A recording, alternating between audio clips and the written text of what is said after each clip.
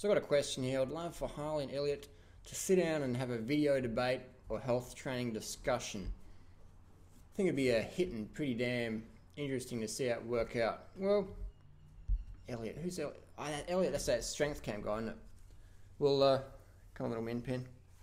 My little buddy, I'm actually going to eat this dog soon. Just feeding him up.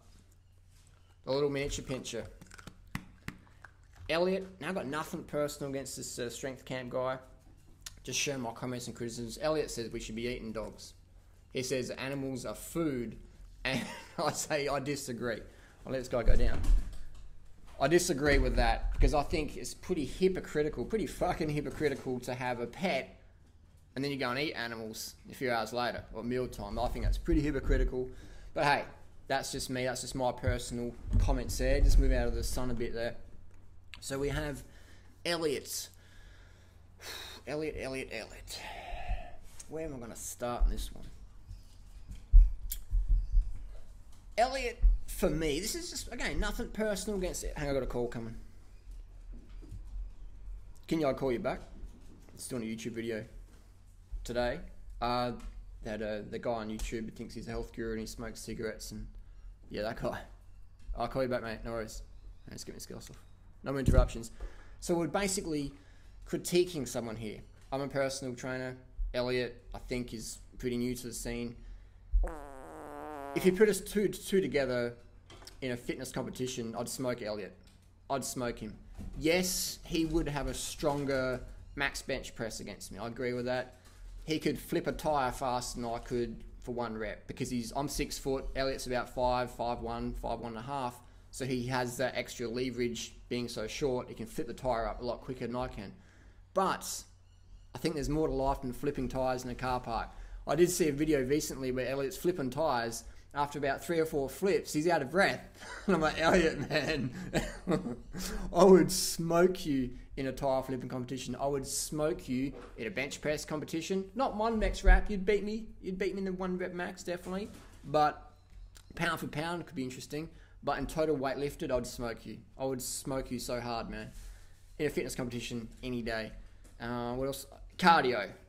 I mean, I wouldn't even do a competition with Elliot with cardio because it'd make him look a bit, you know, it'd sort of be like, it, it wouldn't, you know, it's like having a, race with your two year old cousin or something. It's like, come on, you're not going to do that. Um, what else would it beat Elliot in? A lot of things. Elliot says fruit makes you fat. So Elliot lives on, he does this intermittent fasting thing where he starves himself to try and lose weight. I think Elliot's a sincere guy. I generally, I think he's alright. Occasionally, he does a video where he actually says something, but most of the time he he talks a lot, but doesn't really say anything. You know. But occasionally he's got some good form on lifting and stuff like that, squat technique. So yeah, definitely. I'm not a you know, I'm not a just sharing my comments and criticisms. Nothing personal. Don't get or butthurt or whatever just because I critique someone doesn't mean I'm enemies with them or whatever. Just sharing my comments and criticisms, not hating, just saying. A lot of people can't handle that, but hey. Elliot also he's into health but he smokes cigarettes, smokes tobacco. You know, so I don't know if you can be a health leader to the young generation, to the teenagers coming up, call yourself a a role model and you're smoking cigarettes, you're smoking tobacco, I don't personally, that's not the sort of person I find inspirational for our upcoming generation. I would be more inspired by Elliot if he stopped smoking, if he stopped drinking, if he stopped supporting GMO foods. Who who eat GMO foods and go, I'm trying to genetically modify my genetics. So Elliot doesn't really care too much about health, which is sad because he does have a family and he's got kids and a wife, which he never shows his wife. I'm not sure why, but I know if I had, I know if I didn't show Freelee, she would go, "What? You ashamed of me? Why don't you put me on your YouTube channel? You're ashamed of me." So, again, it's sort of like if you've got a family, you want to be healthy. You want to look after your health. You don't have time to be doing all this sort of stuff. Now, what I do like about Elliot is he is open. He is honest. He doesn't pretend to be like a natural bodybuilder like some of the other channels, you know, TMW, and I won't say too many names, but a lot of people are like, well, we're all natural. At least Elliot doesn't put on that fakeness and pretend that he's a natty bodybuilder, full natty. That's what I like about Elliot. is He's open like that. You know, so that's good. That's a thumbs up there.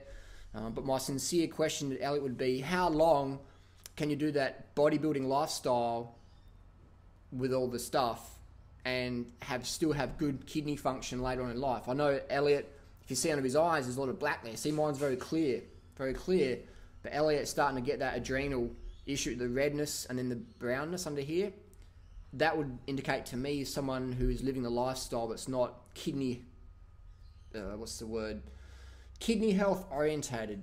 It's not conducive to overall renal and endocrine function long term, hormonal function long term. Whenever you start playing with your hormones long term, that's when you get a lot of side effects long term. So now it's all right, everyone's jacked and happy and merry, but long term, I asked a sincere question, Elliot, how long can you sustain this? Doing those things you're doing to have that sort of size. But at least you're open with it. That's what I do respect. A lot of people out there who aren't that open with it. Um, so that's my comments and criticisms. You know, nothing personal. I hate just saying. People ask me to do a, a, review. I'm fitter than Elliot. I'm stronger than Elliot in terms of overall weight lifted. He does have one rep max stronger than me. I agree. Um, things like that. If we if we were in a MMA competition, I definitely have the one up on him because my cardio is just so much more advanced than Elliot.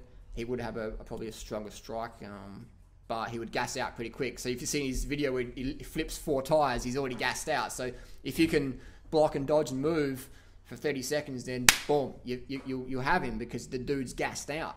You know, when I try and Muay Thai in uh, Thailand, they always say, you know, 90% of fights are won with fitness. So as long as your technique's good, defense is good, striking's good, kicking's good, blocks, knees, elbows, etc., then it will come down to cardio, fitness, end of the day. So I guess, you know, what I'm saying is I'll probably be more inspired this grape's are really good.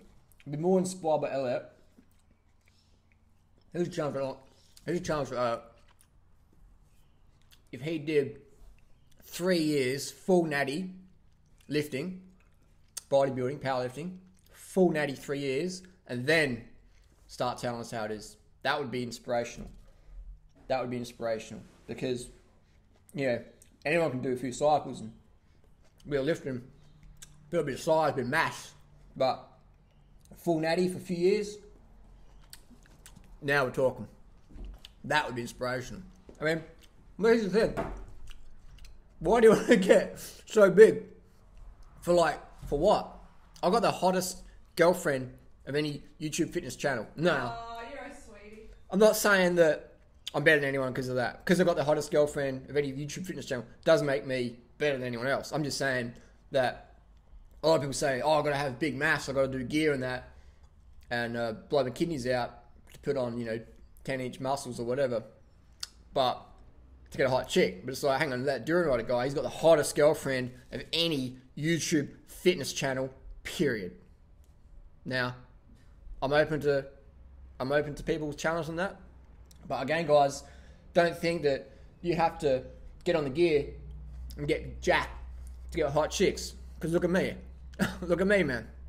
I'm pretty, you know, I'm pretty cut and lean, but I ain't exactly probably the biggest guy out there when I'm doing the head deadlift. So that's what you got to remember, man. You want to get big, be a stronger version of yourself for what? Just to walk down the street and have a bunch of teenagers admire you? I don't know if it's worth sacrificing your long term health for that. You know? But hey, that's just small comments and criticisms. Nothing personal. Just saying. That's all it is, man. It's just advice. You can do what you want to do with it. It's just advice. That's all it is. I'm going to keep carbing the fuck up. Post your comments and questions down below. What's your favorite exercise for building a thick chest? Post it down below. Peace.